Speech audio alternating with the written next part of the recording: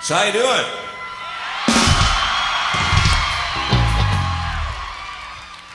Merry Christmas. Happy holidays.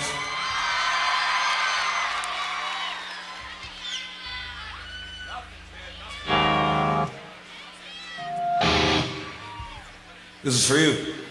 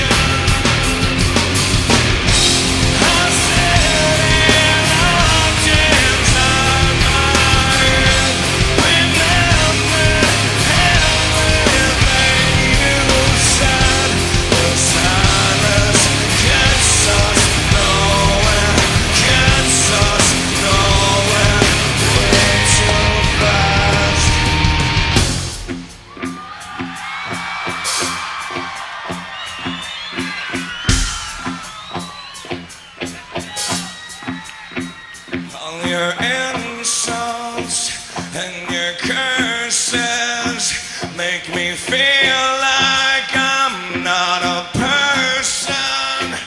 And I feel like I am nothing but you made me so